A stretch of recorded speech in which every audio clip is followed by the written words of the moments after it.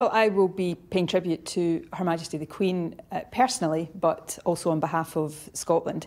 And it will be an opportunity for me, but for the country as a whole, not just to pay tribute to Her Majesty today, but to convey our condolences to the King and to the wider royal family. Uh, today was, is, is a, an opportunity, as it was yesterday, for Scotland to express how much the Queen uh, meant to us. Scotland was a place she loved deeply, and I think it has been very poignant uh, to see Scotland uh, respond so uh, appropriately to her passing.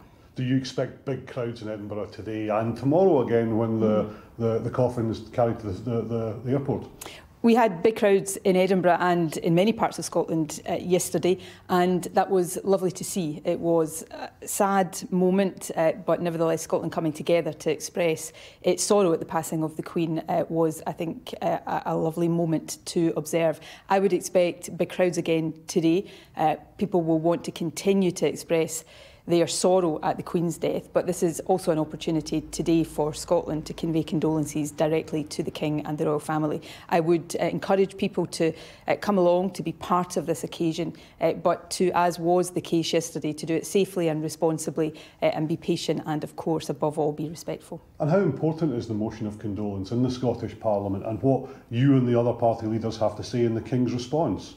Well, I think the Scottish Parliament motion of condolence is an appropriate part of this overall uh, period of mourning for the Queen. The Queen was a great friend of the Scottish Parliament. She has been with us by our side at every key moment in the still relatively short history of the institution. She was there in 1999 when the Parliament reconvened. She has attended every official opening of the Parliament since then. She gifted us the mace that adorns our chamber today. So she has been a, a steadfast friend to the Scottish Parliament. So today is an opportunity opportunity for MSP speaking, I am sure personally, but also on behalf of the nation, to say how much she meant to us. And when she spoke at the opening last year in October, Prince Charles, as he was then, was there, and it was almost as if she was passing on the torch of the support for the Scottish Parliament within the royal household.